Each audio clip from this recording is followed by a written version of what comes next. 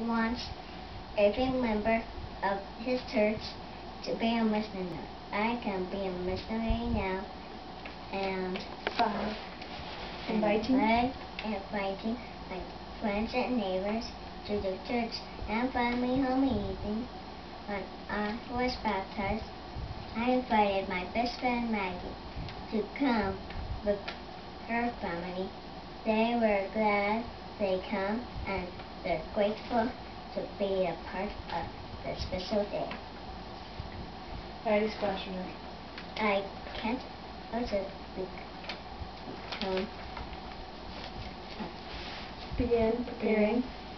preparing now to be a missionary. When I grew up, my auntie Cicely was a is a, missionary. She was She is serving. serving the serving in the Bangkok, Bangkok, Thailand. Thailand mission before she become a missionary. She worked hard to She, where are you? Oh, she worked hard to prepare. she worked hard to be prepare. She Study. studied the the Scriptures. scriptures and different Languages. languages. She keeps her body clean and strong. Auntie Cicely was happy to Is happy.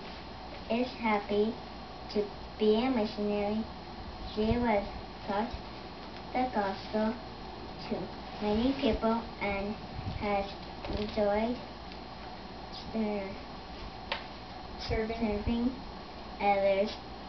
This is a picture of her at the baptism Uh-huh.